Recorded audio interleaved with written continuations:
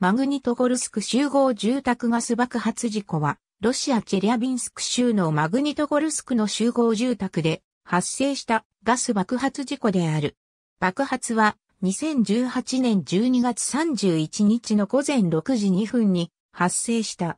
カール・マルクス通り164番地にある1973年に建設された10階建ての集合住宅の12あるブロックのうちの7番目のブロックが爆発によって崩壊した。7番目のブロックが崩壊した対策本部においてプーチン大統領が開いた会議の様子事故発生当日の夕方には、非常事態省によって現場に開設された対策本部に大統領のウラジーミル・プーチンが到着し、現場を視察したほか、負傷者を見舞った。捜査当局によると、事故の原因は家庭用ガスの爆発であるとされる。事故の発生からおよそ35時間後、瓦礫の中からピンク色の靴下を身につけた生後およそ11ヶ月の男児が救出される。2019年1月3日、遺体の捜索及び行方不明者の救出活動が終了される。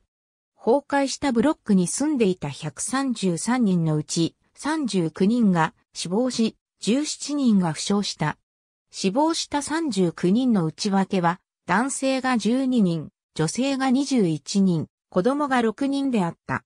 同月4日、日本国内閣総理大臣の安倍晋三は、プーチン大統領に宛てて、同国外務大臣の河野太郎は、外務大臣のセルゲイ・ラブロフに宛てて、事故を受けたお見舞いのメッセージを、それぞれ出している。